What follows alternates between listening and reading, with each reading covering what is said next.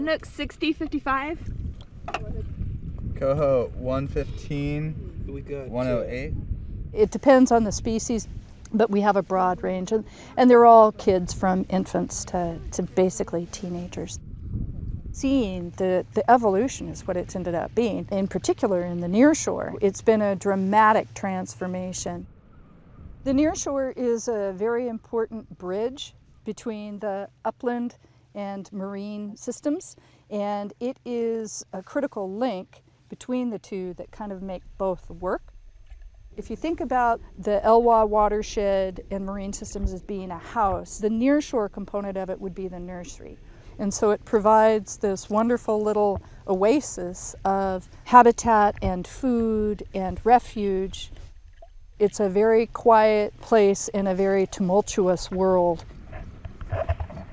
I've been working in the nearshore. I think I started my first conversations about the Elwha nearshore were in 1995, so just about For second, 21 we're, years. We're going to do four total. For our second one, we're actually going to walk up and around the corner and do a second set just around the corner here. We'll see Chinook salmon, coho, uh, steelhead, chum, bull trout, and all of those are federally listed as being endangered species. Go back 40. They are below the, the lateral line. The Elwha dam removals isn't just about pulling dams for fish passage, although that's certainly a big part of it.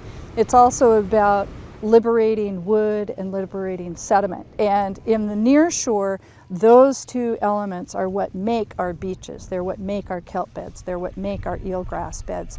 And those habitats are the things that are so critical for the function of the nearshore. A hundred years of sediment that's been trapped up in the watershed, it's roughly the same as eight stadium fulls of sediment. Now that the dams are out, the visual aspect of it is so dramatic that the near shore has actually become the poster child for the entire dam removal project. This is the largest dam removal in the nation, and certainly the first of its kind. And so nobody knew what was going to happen. But the good part is that the ecosystem is going to be restored from this action.